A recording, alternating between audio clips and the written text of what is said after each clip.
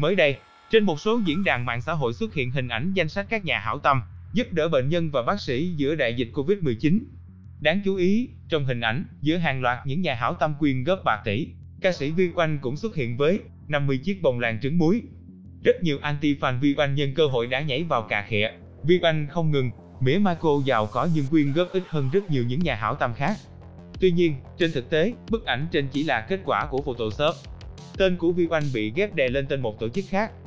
Fanpage ghép ảnh câu tương tác này cũng bị dân mạng vào chỉ trích nặng nề. Nhiều người vì mục đích câu like, câu view đã cố tình ghép tên của ca sĩ Vi Anh với sự đóng góp của cô vào, để tranh thủ cà khịa. Đây là hành động đáng bị lên án. Khán giả cũng cần thận trọng trước những luồng tin pha ke như thế này. Trước đó, vào hồi tháng 7 năm 2021, sau khi biết một người bạn thân làm bánh bông, làng trứng muối gửi tặng các bác sĩ tuyến đầu chống dịch, Vi Anh đã ngỏ lời đặt mua 50 chiếc. Đây chỉ là một trong những việc làm thiện nguyện của Vi Oanh.